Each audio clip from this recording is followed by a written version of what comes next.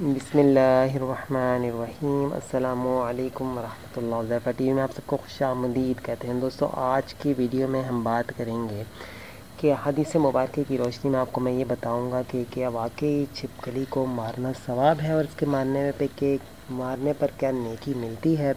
معظمین کرام، آپ کو بتاتا چلوں، حدیث مبارکہ سب سے پہلی حدیث ہے، حضرت ام شریک رضی اللہ عنہ سے مروی ہے۔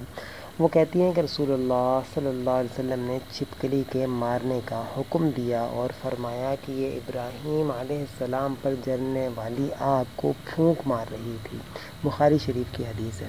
مسند احمد میں حضرت عائشہ رضی اللہ تعالیٰ عنہ سے روایت ہے وہ کہتی ہیں، رسول اللہ صلی اللہ علیہ وسلم نے فرمایا، چھپکلی کو مارو کیونکہ وہ ابراہیم علیہ السلام پر آگ کو پھونکے مار رہی تھی۔ مطلب آگ کو پھونک مار رہی تھی کہ مزید آگ بھڑکے اور ابراہیم علیہ السلام کو تکلیف ہو۔ راوی کہتے ہیں کہ پھر سیدہ عائشہ رضی اللہ تعالیٰ عنہ بھی اس کو مارا کرتی تھیں۔ بعض علماء کہتے ہیں کہ چھپکلی ایک موزی جانور ہے، جس سے نقصان کا اندیشہ ہے۔ کبھی کبھار وہ کھانے میں اپنا لعاب یعنی تھوک ڈال دیتی ہے، کھانا جھوٹا کر دیتی ہے، جو کھانے میں زہریلے اثرات پیدا کر دیتا ہے، جس کی وجہ سے انسانی موت بھی ہو سکتی ہے۔ جس، جب اس سے نقصان کا اندیشہ ہو تو ایسی چیز کو مارنے کا حکم دیا گیا ہے تاکہ انسانی جان کو اس کی ایزا سے بچایا جا سکے۔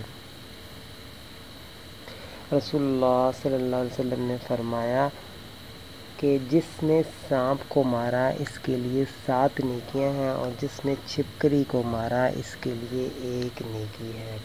تو مال سامعین کرام چھپکلی کو مارنے پر اللہ کے رسول صلی اللہ علیہ وسلم نے خود حکم دیا ہے، اور اس کو مارنے پر ثواب بتایا، اور یہ بھی فرمایا کہ اس کو مارنے پہ ایک نیکی ملے گی۔ میں سامعین اکرام امید کرتا ہوں آج کی ویڈیو آپ کو اچھی لگی ہوگی۔ ویڈیو اچھی لگی ہے تو کمنٹس میں ضرور بتائیے گا۔ اپنا خیال رکھیے گا۔ اللہ حافظ۔